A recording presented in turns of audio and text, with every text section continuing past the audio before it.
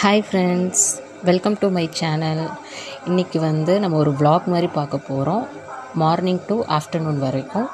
Cooking ரெசிபியும் வந்து add பண்ணியிருக்கேன் கண்டிப்பாக உங்களுக்கு பிடிக்கும். மறக்காமல் வீடியோ பாருங்கள் ஸோ மார்னிங் வந்து ஒரு எயிட் ஓ கிளாக் ஆகுது ஸோ கரெக்டாக எயிட் டென் ஆகுது.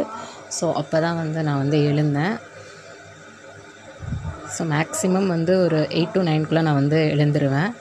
ஸோ நான் இன்றைக்குன்னு பார்த்து நான் வந்து ஒரு எயிட் டென் போல் வந்து எழுந்திரிச்சேன் அதுக்கப்புறம் ப்ரெஷ் பண்ணிவிட்டு வர்றதுக்கு எயிட் ஃபார்ட்டி செவன் ஆச்சு. அதுக்கப்புறம் காலைல வந்தோடனே வந்து தண்ணி குடிப்பேன். ரொம்ப ரொம்ப நல்லது. நீங்களும் தண்ணி குடிங்க. ரொம்ப நல்லது. காலைல எழுந்திரிச்சோன்னே அதுக்கப்புறம் வந்து அம்மா வந்து டீ வந்து ரெடி பண்ணாங்க. நான் அதுக்குள்ளே நான் வந்து பெட்டெல்லாம் ரெடி பண்ணேன். ஸோ நம்ம படுத்தது நம்ம தானே ரெடி பண்ணணும். ஸோ எல்லாமே நான் பெட்டெல்லாம் வந்து நீட்டாக வந்து மடித்து மடித்து நீட்டாக வச்சுட்டேன். முடிஞ்ச வரைக்கும் நம்ம வேலையை நம்மளே பார்த்துக்கணும். ஸோ நான் எல்லாத்தையும் மடித்து வச்சுட்டேன் கரெக்டாக அதுக்கப்புறம் வந்து டீ குடித்தேன் டீ ரெடி ஆயிடுச்சு. அம்மா வந்து கொடுத்தாங்க. ஸோ டீ குடித்தேன் அதோட எப்போவுமே பிஸ்கட் சாப்பிட்றது. ஸோ டீயும் பிஸ்கட்டும் சாப்பிட்டேன். அப்புறம் ஒரு ஹாஃப் அன் ஹவர் கழித்து வந்து ஒரு பனானா சாப்பிட்டேன். ஃப்ரூட்ஸ் மேக்ஸிமம் இந்த டைமில் எடுத்துக்கோங்க. இப்போ கரெக்டாக வந்து லெவல் டுவெண்ட்டி டூ ஆகுது. ஸோ அதுக்கப்புறம் வந்து மார்னிங் ப்ரே பிரேக்ஃபாஸ்ட் வந்து அம்மா ரெடி பண்ண ஆரம்பித்தாங்க ஸோ நான் அந்த வீடியோ வந்து இன்க்ளூட் பண்ணியிருக்கேன் என்னென்னா வந்து காலையில் வந்து நைட்டு வந்து இட்லி பண்ணாங்க. ஸோ வந்து அது மீதம் இருந்தது. அதை வச்சு நான் வந்து அதை வச்சு அம்மா வந்து இட்லி உப்புமா பண்ணாங்க. ஸோ அதை வந்து உங்களுக்கு காமிக்கலான்னு வந்து நான் பண்ணியிருக்கேன் ஃபஸ்ட்டு வந்து ஒரு கடாயில் வந்து எண்ணெய் ஊற்றிக்கோங்க ஈஸியான ரெசிபி தான். கடுகு உளுந்தம் பருப்பு போட்டு நல்லா போட்டுருங்க. போட்டோன்னே அது நல்லா பொரிஞ்சிரும். கடுகு வந்து நல்லா பொரிஞ்சதுக்கு அப்புறம் வந்து ரெண்டு காஞ்ச மிளகா வந்து ஆட் பண்ணிக்கோங்க. உங்கள் காரத்துக்கு உங்களுக்கு எவ்வளோ காரம் வேணுமோ மூணு மிளகா கூட ஆட் பண்ணிக்கலாம். நாங்கள் வந்து ரெண்டு மிளகா ஆட் பண்ணிக்கிட்டேன். அம்மா வந்து ரெண்டு மிளகா ஆட் பண்ணாங்க. ஸோ வந்து அதுக்கப்புறம் நல்லா வந்து காஞ்ச மிளகாவும் நல்லா பொரியுது. பொரிஞ்ச அப்புறம் ஒரு பெரிய வெங்காயம் வந்து ஆட் பண்ணிக்கோங்க.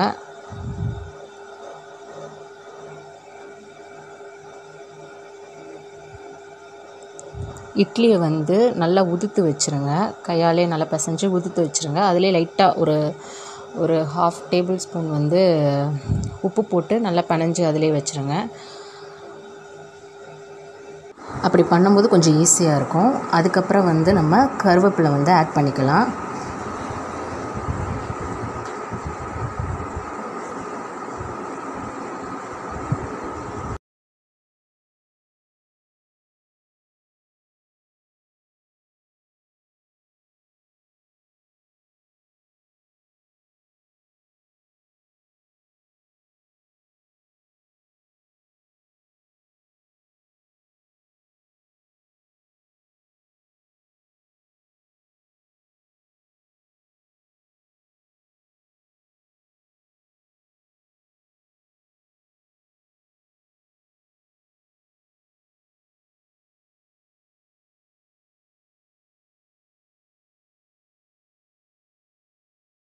வெங்காயம் வந்து நல்லா வதங்கினதுக்கப்புறம் நம்ம வந்து உளுத்து வச்சுருக்கோம்ல இட்லி அதை வந்து ஆட் பண்ணிக்கோங்க.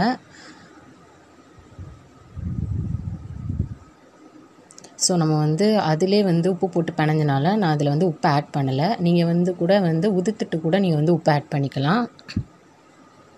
ஸோ நல்லா கிண்டி விட்டுக்கோங்க.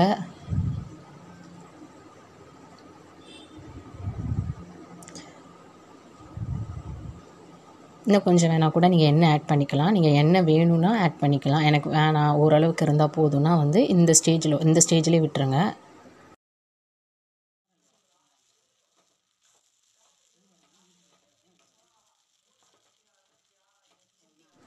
ஸோ வந்து இட்லி உப்புமா வந்து ரெடி ஆயாச்சு. ஸோ வந்து உங்கள் உங்கள் வீட்டில் வந்து செஞ்சுட்டு மீத இட்லி இருந்துச்சுன்னா இந்த மாதிரி ட்ரை பண்ணி பாருங்கள் சூப்பராக இருக்கும். நான் மஞ்சத்தூள் ஆட் பண்ணல. வேணும்னா நீங்கள் ஆட் பண்ணிக்கோங்க. இது வந்து எங்கள் அம்மா வந்து பண்ணது. கொஞ்சம் டிசைனாக இருக்கும்னு சொல்லிட்டு பண்ணாங்க. பார்க்க நல்லா தான் இருக்குது ஸோ கண்டிப்பாக ட்ரை பண்ணி பாருங்கள் குழந்தைங்களுக்கு ரொம்ப பிடிக்கும்.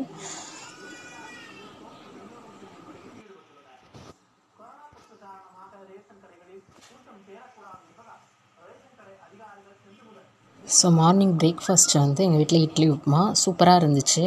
செம்ம சாஃப்டாக இருந்துச்சு. நல்லாவும் இருந்துச்சு. கண்டிப்பாக ட்ரை பண்ணி பாருங்கள் குழந்தைங்களுக்கு ரொம்ப பிடிக்கும். அதுக்கப்புறம் வந்து கரெக்டாக ஆஃப்டர்நூன் ஆயிடுச்சு one one ninety one twenty ஆக போகுது. ஸோ நான் அதை வந்து அந்த கிளிப்பை ஆட் பண்ணியிருக்கேன் ஸோ வந்து ஆஃப்டர்நூன் டைம் வந்து ஒன் டுவெண்ட்டி அப்போ சூப்பராக இருந்தது கிளைமேட் சூப்பராக இருந்தது. ஸோ அதையும் நான் ஆட் பண்ணியிருக்கேன் அம்மா வந்து மார்க்கெட் போயிட்டு வந்தாங்க. ஸோ நண்டு வாங்கிட்டு வந்தாங்க. ஸோ வந்து ஆஃப்டர்நூன் ரெசிபி பார்த்தோன்னா நண்டு குழம்பு. ஸோ அதை எப்படி ப்ரிப்பேர் பண்ணலான்னு பார்க்கலாம். ஃபஸ்ட்டு கடாயில் வந்து எண்ணெய் ஊற்றிக்கோங்க எண்ணெய் ஊற்றிட்டு எண்ணெய் வந்து நல்லா சூடானதுக்கப்புறம் வந்து வெந்தயம் போட்டுக்கோங்க.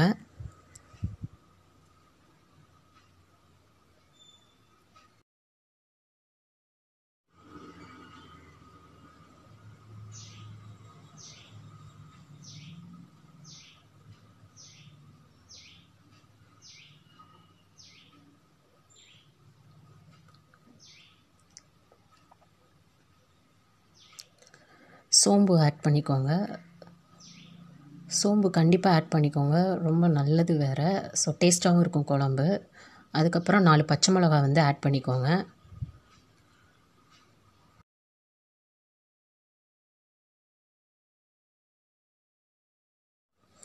அதுக்கப்புறம் வந்து ஒரு பெரிய வெங்காயம் வந்து ஆட் பண்ணிக்கோங்க. நல்லா வதக்கி விடுங்க.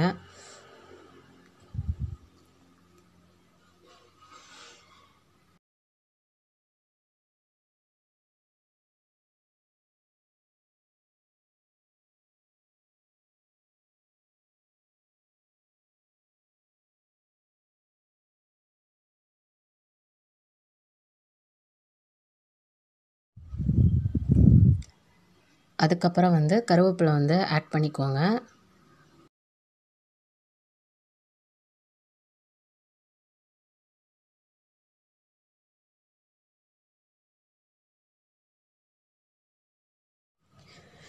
கொஞ்சோண்டு இஞ்சி பூண்டு பேஸ்ட் வந்து ஆட் பண்ணிக்கோங்க. நல்லா பச்சை வாசனை போகிற வரைக்கும் நல்லா கிண்டி விட்டுக்கோங்க. நான்வெஜ்னாவே வந்து இஞ்சி பூண்டு வந்து கண்டிப்பாக சேர்த்துப்போம். ஸோ நல்லா பச்சை வாசம் வந்து போகிற வரைக்கும் நல்லா வதக்கிக்கோங்க.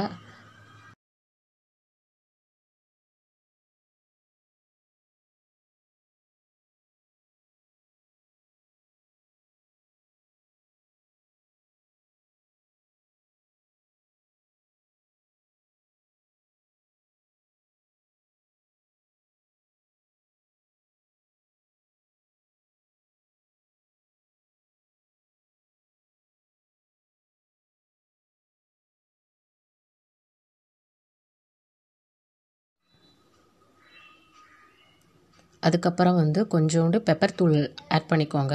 ஹாஃப் டேபிள் ஸ்பூன்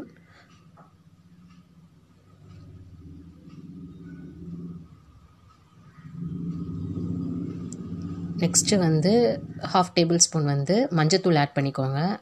ஸோ நல்லா பச்சை வாசனை போகிற வரைக்கும் நல்லா எல்லாத்தையும் நல்லா வந்து கிண்டி விடுங்க. அதுக்கப்புறம் நான் மூணு தக்காளி வந்து ஆட் பண்ணிக்கிறேன். ஸோ நல்லா கிண்டி விட்டுக்கோங்க.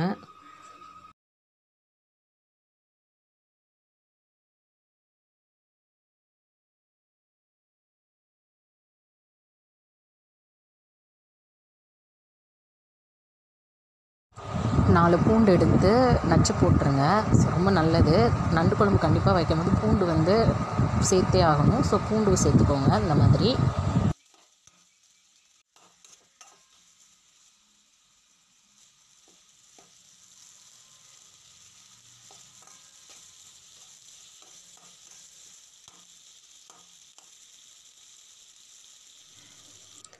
ஸோ நல்லா தக்காளி வெங்காயம் எல்லாமே நல்லா வதங்கி இருந்துச்சு ஸோ இந்த ஸ்டேஜ் வரும்போது நண்டை வந்து ஆட் பண்ணிக்கோங்க.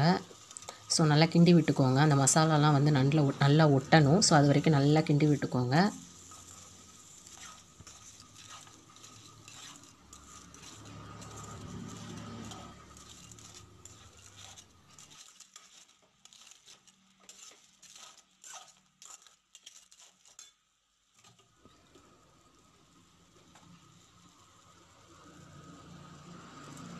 கொஞ்சோண்டு வந்து உப்பு சேர்த்துக்கோங்க.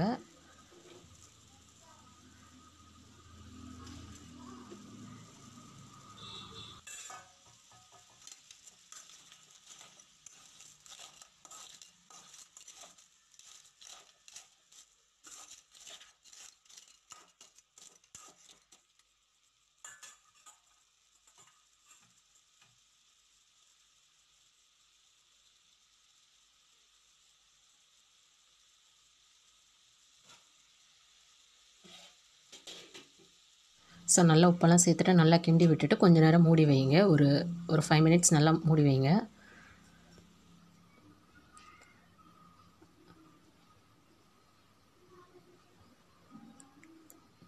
ஒன்ஸ் திரும்பி நல்லா கிண்டி விடுங்க. நல்லா கிண்டி விட்டுட்டு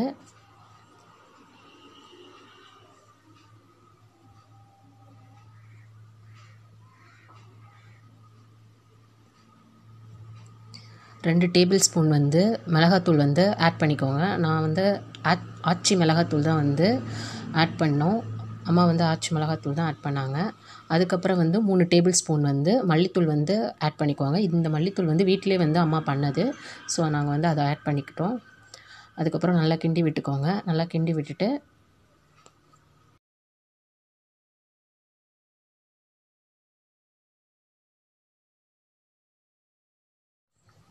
அதுக்கப்புறம் வந்து புளித்தண்ணி வந்து ஆட் பண்ணிக்கோங்க. நீங்கள் வந்து எல்லாமே ரெடி பண்ணும்போதே புளியை நல்லா தண்ணியில் ஊற வச்சு வச்சிட்டிங்கன்னா உங்களுக்கு வந்து சீக்கிரமாக டக்குன்னு ஆட் பண்ணிக்கலாம்.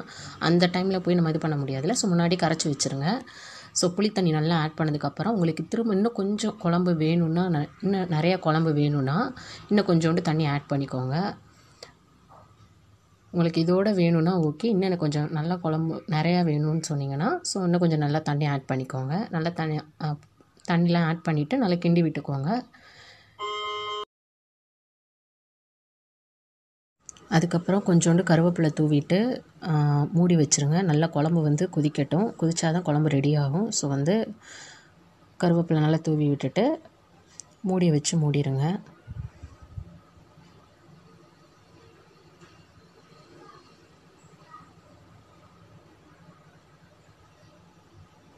ஸோ குழம்பு நல்லா கொதிக்கட்டும். அது வரைக்கும் வெயிட் பண்ணுங்கள்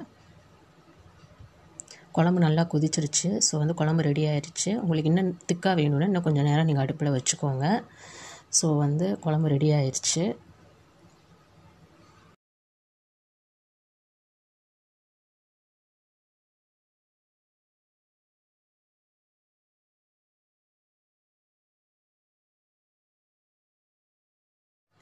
நண்டு நல்லா வந்து வெந்திருக்கு. ஸோ குழம்பு சூப்பராக இருந்துச்சு. ரைஸோடு வச்சு சாப்பிட்டா ரொம்ப சூப்பராக இருந்துச்சு. கண்டிப்பாக வந்து நண்டு குழம்பு ட்ரை பண்ணி பாருங்கள் உங்களுக்கு கண்டிப்பாக பிடிக்கும். ஸோ சூப்பராக இருந்துச்சு குழம்பு.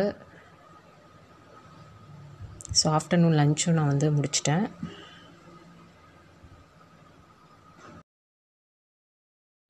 கண்டிப்பாக உங்களுக்கு இந்த வீடியோ பிடிக்கும்னு நினைக்கிறேன். Thank you friends subscribe to my channel